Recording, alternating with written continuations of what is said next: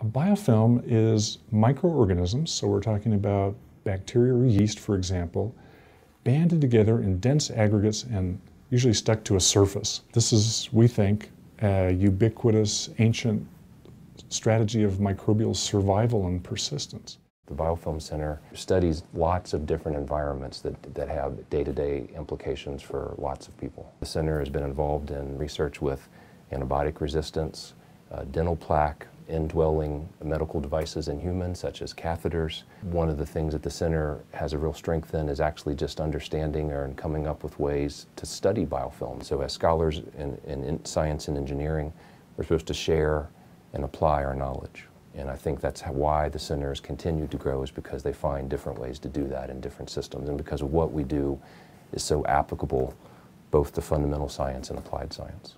One of the things we do is to do contract testing or research projects for industrial sponsors. Some years that's a million dollars a year of activity, so it's pretty significant.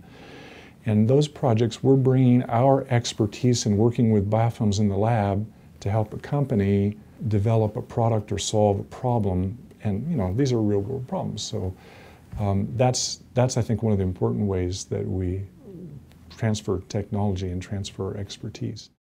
One of the way that it's uh, really expanded is in the number of students who are involved. You know, that's one of the things that the NSF originally charged us with is not just to be a research center, but also to be an education center. We really involve students as, as early as we can.